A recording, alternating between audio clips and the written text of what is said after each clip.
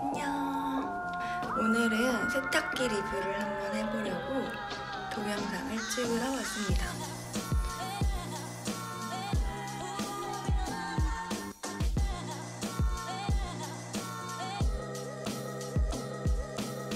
세탁기가 있는 저곳으로 가볼까요?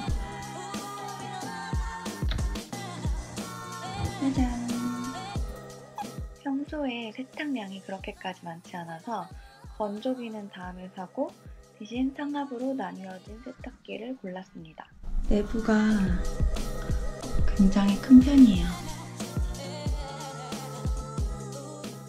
상부 세탁 세제는 이쪽인데요. 섬유유연제는 직접 넣고 세제는 보라색 아쿠아 페블에 넣어서 이렇게 넣어줍니다. 아랫부분 할 때는 이렇게 왼쪽에 세제 넣는 곳, 오른쪽에 섬유유연제 넣는 곳이 있으니 어렵지 않겠죠? 그리고 뚜껑을 닫습니다. 그 다음에 전원을 윗부분 할 때는 여기 아랫부분 할 때는 여기 둘 다 같이 할 때는 두 개를 눌러주면 됩니다.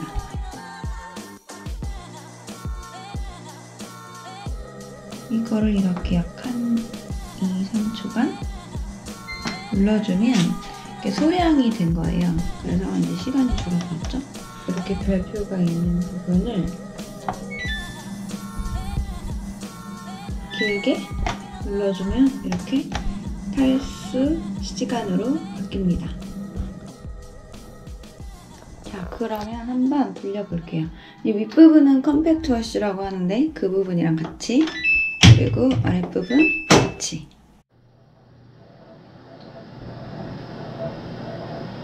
이렇게 세탁이 되고 있는 도중에 에드워스를 하고 싶다. 그러면 동작 일시 정지를 눌렀다가 그 다음에 이렇게 열고 이 안으로 슉 넣어주면 됩니다.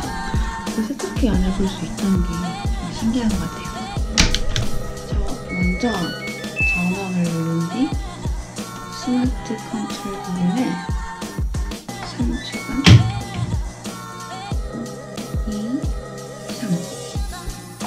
여러분 안녕.